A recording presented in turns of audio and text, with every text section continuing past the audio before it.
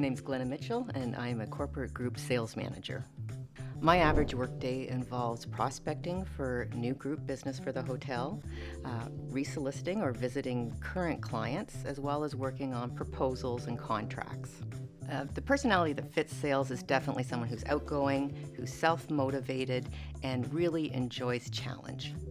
We have 38 meeting rooms, about 40,000 square feet of meeting space, and we can accommodate between 10 to 700 people. I really like our Greenwich room. It's a beautiful room with floor to ceiling windows. We do a lot of weddings, we do a lot of corporate uh, dinners in there. It's a really lovely space. My name is Angelia Ferre.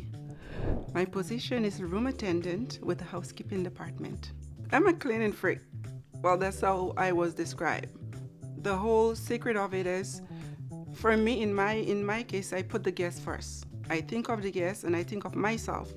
I'm coming into a room, what do I look for, what do I want, you know, and um, that's how I go about cleaning my room. But I love it when the guests come out and say, wow, this room is amazing. My name is Maria May. I'm working as a laundry finisher. My favorite part of my job is to be able to provide a fresh and clean linens to our guests. We process around 700 sheets a day.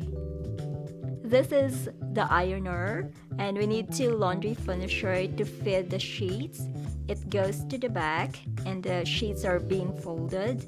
After it's folded, it goes to the stocker and the stocker we have um, to sort the king size and the queen size sheets. My name is Jack Spacey and I'm a cook. Um, one of favorite, my favorite aspect about my job include the menus and executing them. Our menus consist of food from different cultures, so we're we're able to experience different culture in what we do, right, and be able to serve them and get the results. That, that's one of my favorite aspects about my job.